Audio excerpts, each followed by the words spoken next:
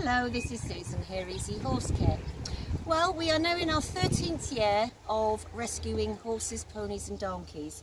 We've actually rescued from 2008 181 horses, ponies and donkeys.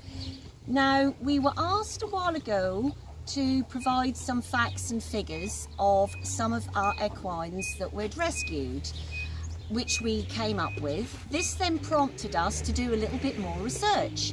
Now, amazingly enough, amazingly enough, we've calculated this figure on five euros per day per horse, okay, from when we actually first started. It actually equates to 1,753,000 405 euros. Now this is a truly phenomenal amount of money.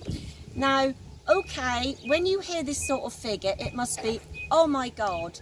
Well, actually, once we got over the initial shock, we suddenly thought, wow, what an achievement.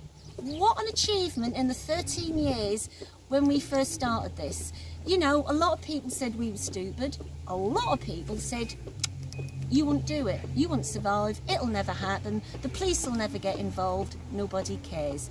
Well, guess what? Yes, the police do care. Thousands of people have got involved. All you amazing people out there. All of our volunteers here. All the people that donate to the charity shops. All of you that donate money to us. What an achievement. And not only that, Rojales Council, they now also have got involved and this is the third year they are donating 6,000 euros towards the rescue centre. Now that truly is a mark of respect from our council and commitment.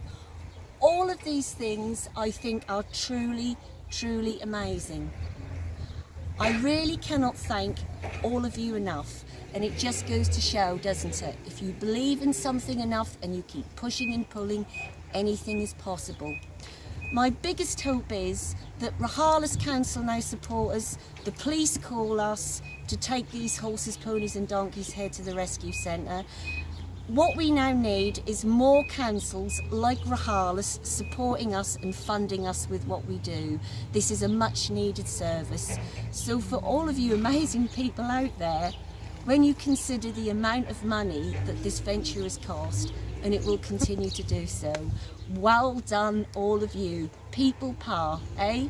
Thank you so, so much.